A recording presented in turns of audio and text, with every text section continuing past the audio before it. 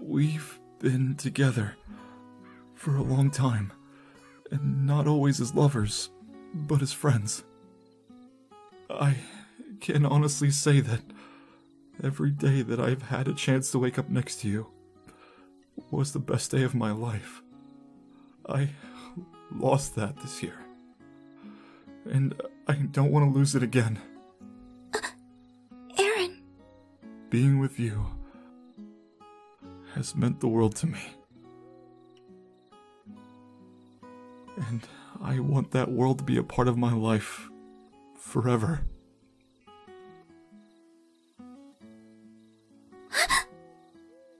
Aph, will you marry me?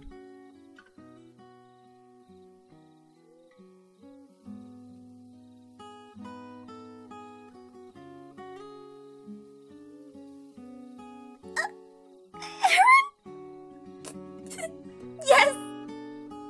Yes!